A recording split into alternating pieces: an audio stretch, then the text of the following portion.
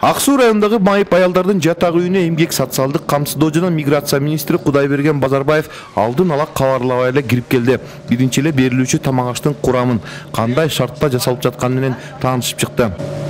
мурда ар бир дарыланып жаткан жаранга күнүнө жүз сомдун тегерегиндеги каражатка тамак берилип келген болсо учурда эки жүз сомго көтөрүлдү мунун аркасы менен азыр тамак аштан сырткары сүт азыктары колбаса сары май жана салат кошумча берилип баштады дешет кызматкерлер мурда деген бизде бул тамак аштар жок болчу да могу сары май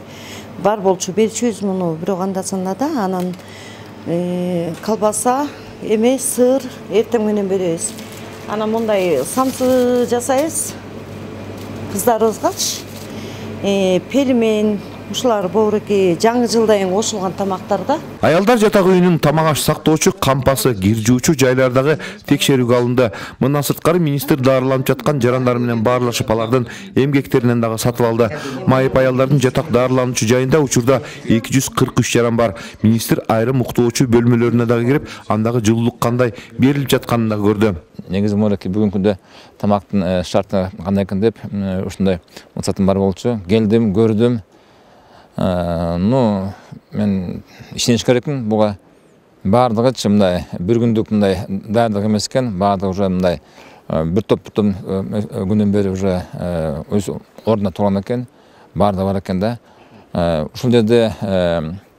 дарыланып аткан биздин пациенттердин жашоосу жакшы эле экен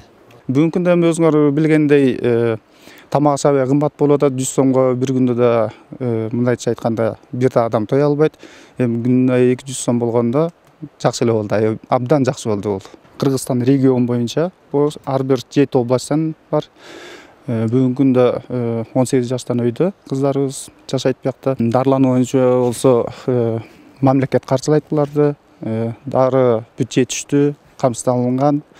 убагында дарыланып турушат министр кудайберген базарбаевдин билдирүүсү боюнча жалпы республика боюнча жатак дарылануучу жайларга интернаттардагы жарандардын тамак ашына деп эки жүз он бир миллион сом кошумча бөлүнгөн мындан сырткары президенттин дагы бир жарлыгына ылайык жалпы республика боюнча эки жүз он эки миң аз камсыз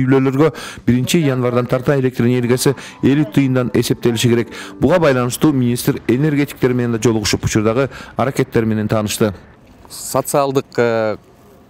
коргоо э, министрлигинен берилген тизмелерди ылайык бизде деген алты миң алтымыш жети кардар бар экен. Бул деген э, общий ысык көл областынын беш пайызын түзөт жалпы кардарлардын такталганы азыр бизге деген токсон тогуз пайызы такталып калды. Такталбагандар себептери үйүндө жашабайт. Же болбосо телефон номерлери берилген телефон номерлери өчүрүлгөн. Же чет мамлекетке чыгып кеткендер болуп кездешип атат. Анан тактоо иштери жүрүп атат. Бүгүн тиги расчетный периодко чейин тактап бүтөбүз эске сала кетсек эмгек социалдык камсыздоо жана миграция министри аялдар жатак үйүнүн кызматкерлери менен да жолугуш өткөрүп алардын суроолоруна жооп берди эжил мелисбек бакыт шайымбетов ала тоо жыйырма ысык